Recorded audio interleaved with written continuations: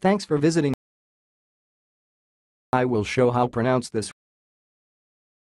So to begin, you can just can say Kona. Kona.